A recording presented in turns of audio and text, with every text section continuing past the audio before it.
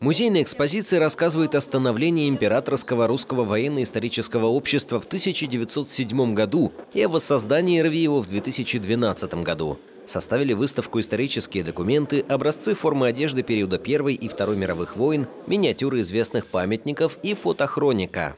Мы первый регион, в котором открывается такой музей. И это тоже э, определенные параллели с началом работы Российского военно-исторического общества, потому что вначале всего лишь было 9 отделений.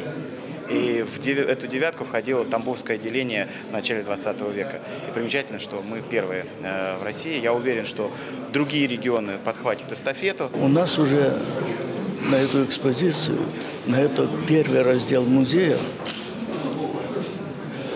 ну, наверное, 20-30 заявок, которые хотят приехать, посмотреть, изучить и распространять у себя. Глава региона Максим Егоров отметил, что открытие выставочного зала – это только начало. Музей Российского военно-исторического общества на Тамбовщине ждет расширения. Напомним, военно-историческое общество было воссоздано по инициативе президента России Владимира Путина в 2012 году. За это время при активном участии РВИО в Тамбовской области были открыты десятки памятников и сотни мемориальных досок.